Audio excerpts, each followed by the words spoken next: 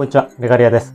今回ですね、私が2年半ほど使い続けました、この富士 Wi-Fi304ZT なんですけど、こちらをですね、いよいよ解約していきたいと思います。ここ最近ずっとですね、解約するすると言ってまして、解約し忘れて、先月ですね、5月なんですけど、解約をしようと思ったら、解約がですね、15日までに申請をしないといけないということでね、まあ、こちらもですね、その時期を外して、はい、解約できませんでした。ということで、今回はですね、6月初めということなんですけど、早速ですね、解約の手続きをしていきたいと思います。今ですね、こちら画面が出てるんですけど、この上のですね、マイページログインというところから、ログインをしてですね、この中で解約をしていくという形になります。まあ、今ですね、こちら、富士 Wi-Fi の画面出てますが、実際ですね、はい、個人情報出るのでね、映しませんけどね、早速やっていきたいと思います。まあ、今日がですね、6月の6日なんでございますが、そうですね、31.1GB 使っております。まあ、1日ね、5GB ぐらい使うような感じでございますけど、まあ、こちらはですね、今契約しておりますモナ Wi-Fi のモナシムですね。こちらに切り替えていこうとしている状態でございます。あとはですね、この新居に引っ越したということで、光回線を引く予定でございます。なのでね、まずこちらの富士 Wi-Fi を解約という形になりました。まあ、あとはですね、私の自宅の方とか出かけた時にはですね、モラシムを使って通信できればいいかなと思っておりますのでね、いよいよこの富士 Wi-Fi ですね、使わなくなるかなと思いまして、今回解約する形になりました。ということでね、今回解約の手続きをするんですけど、15日までの申し込みで月末ですね、解約という形になりますので、6月いっぱいは使える形になります。なのでね、今回はその手続きだけですね、まずやっていきたいと思います。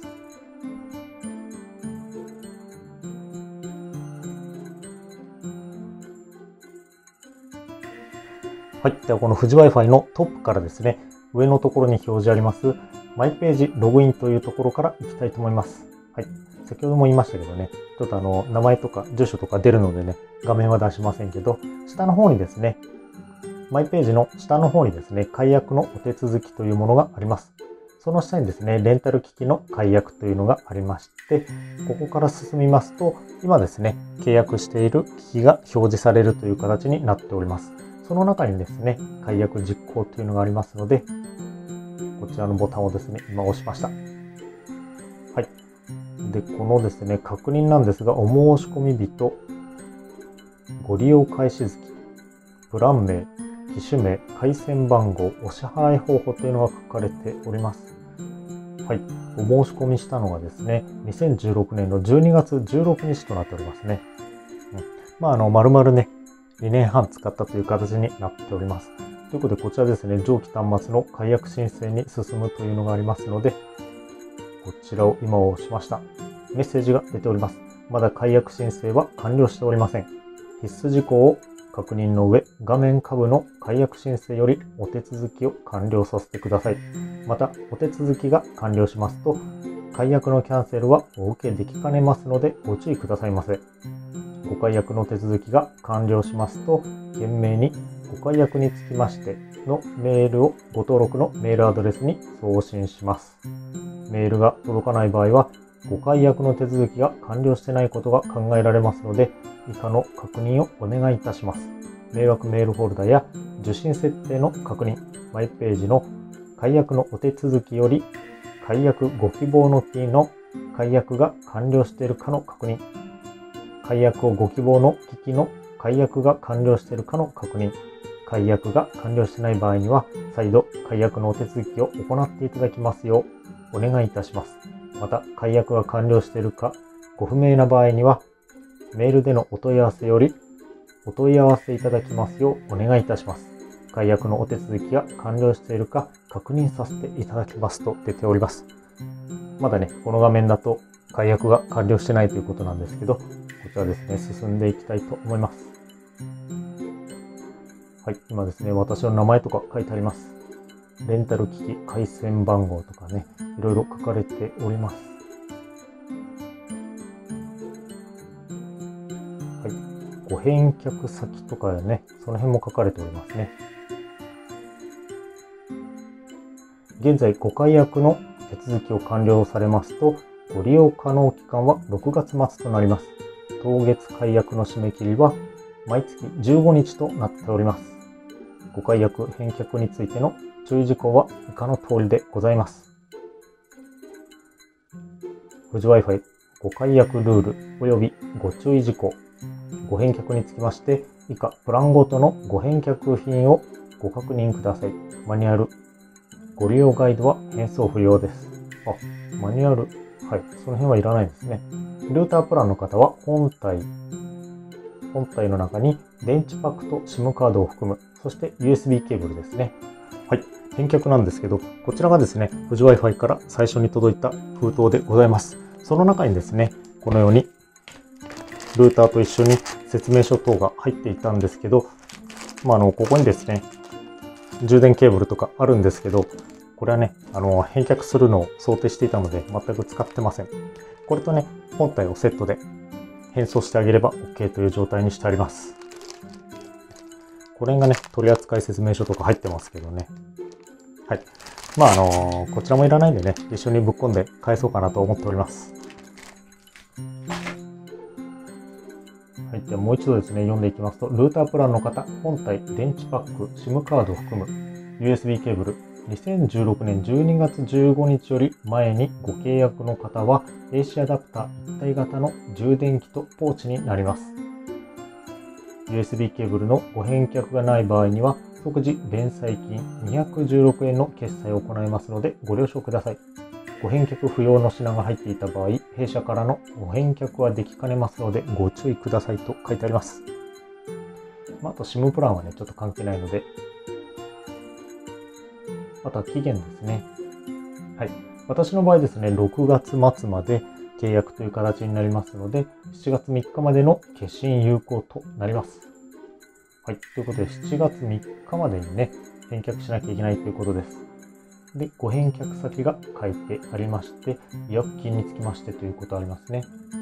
返却遅延があった場合、7月3日の消印までにご発送いただけない場合、遅延違約金として利用料金1ヶ月分をご請求いたします。ね、とんでもないですね。1ヶ月か。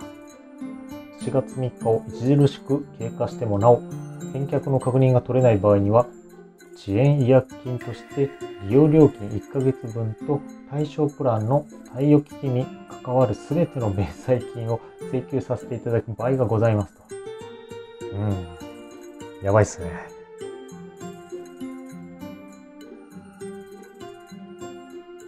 違約金をお支払いいただく場合でもご利用期限の延長とはなりません。うん、まあ、とりあえず4月3日までに全部返します。はい、大丈夫です、その辺は。返さなかった場合、これ結構やばいですね。結構取られるんじゃないですか。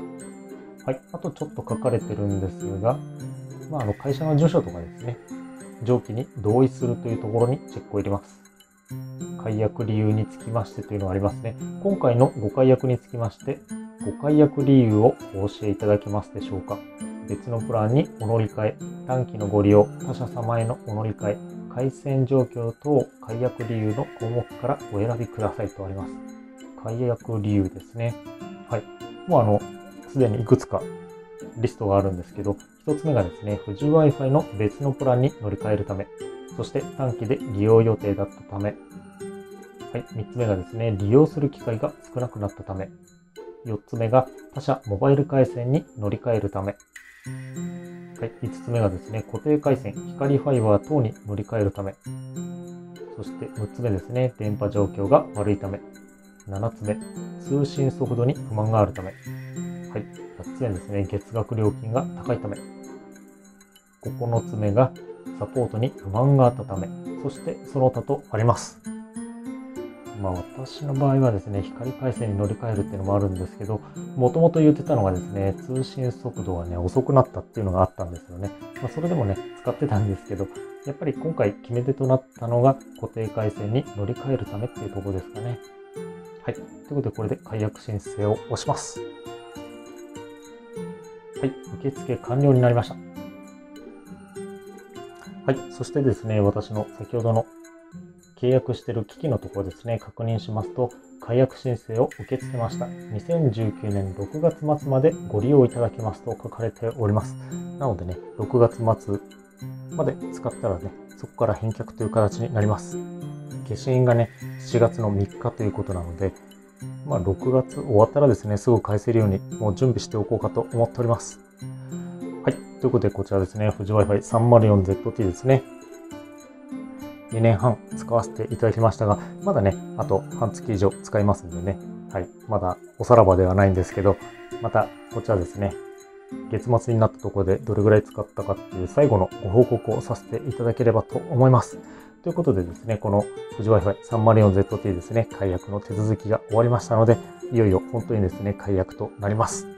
はい。ということで、またですね、今月末どれぐらい使ったかというお知らせをですね、させていただくのが、この富士 Wi-Fi の最後の動画かなと思っております。はい。ということで、富士 Wi-Fi のですね、情報ですね、最後になりますが、次の動画も見ていただけたらと思います。はい。ということで、今回も動画を見ていただき、ありがとうございます。ぜひ、チャンネル登録の方もよろしくお願いします。もしよかったら、他の動画も見てください。それではまた。